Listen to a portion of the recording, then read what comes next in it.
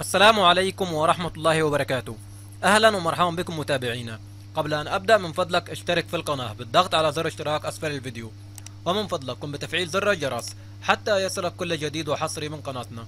نقدم لكم أسعار الدولار والعملات الأجنبية والعربية. اليوم السبت 17 أغسطس 2019 تابع معنا الفيديو للنهاية. سعر الدولار في بنك قناة السويس والبنك المصري الخليجي وبنك عودة وبنك البركة. 16 جنيه و55 قرش. سعر الدولار في بنك كريدي أجريكول وبنك التعمير والإسكان 16 جنيه و54 قرش.